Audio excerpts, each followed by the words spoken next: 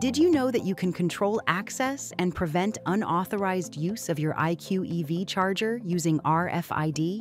To do this, purchase or use an existing RFID tag that operates at 13.56 MHz. It needs to be ISO 14443A/B or ISO 15693. Register this tag with your IQ EV Charger 2 on the Enphase app. You can then use the tag to authenticate charging sessions. In this video, we will demonstrate how to register your RFID tag and how to use it to authenticate charging sessions. To register your RFID tag, go to Menu, Settings, IQ EV Charger, Security, Authentication. Here, enable Authenticate Sessions and allow RFID-based authentication. Now click on Add Tag to register your RFID tag. Once this message appears on your app, tap your RFID tag on the charger as shown. The blue light indicates that the charger recognizes the tag. Please wait until the tag is processed.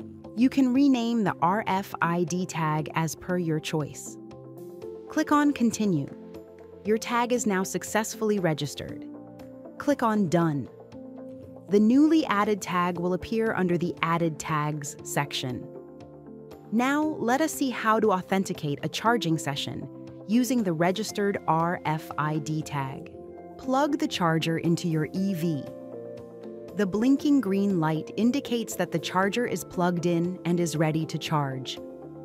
Now, to authenticate the charging session, tap the registered RFID tag on the charger within two minutes as shown.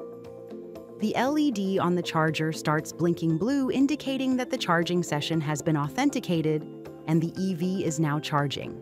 You can also tap the RFID tag first and then plug in your EV within two minutes. Once a charging session is authenticated, you can control charging in the app through the Start Stop button on the status page.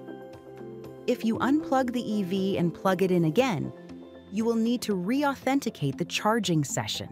This is how you can control access to your charger using an RFID tag. Unlock smarter, safer charging with IQ EV Charger 2 today.